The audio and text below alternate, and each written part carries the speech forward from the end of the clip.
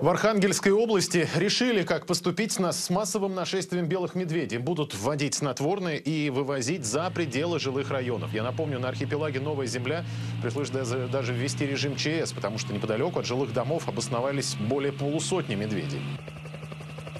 Пришли к следующему решению сформировать оперативную группу из состава ученых из Москвы и из Архангельска. И тех людей, которые имеют опыт общения с белыми медведями, они должны приехать к нам сейчас с тем, чтобы изучить поведение этих медведей, отслеживать их пути движения и усыплять их, и выводить в отдаленные от населенных пунктов места. Вероятнее всего, это у нас состоится на следующей неделе, потому что у нас есть особенности допуска на территорию Новая Земля.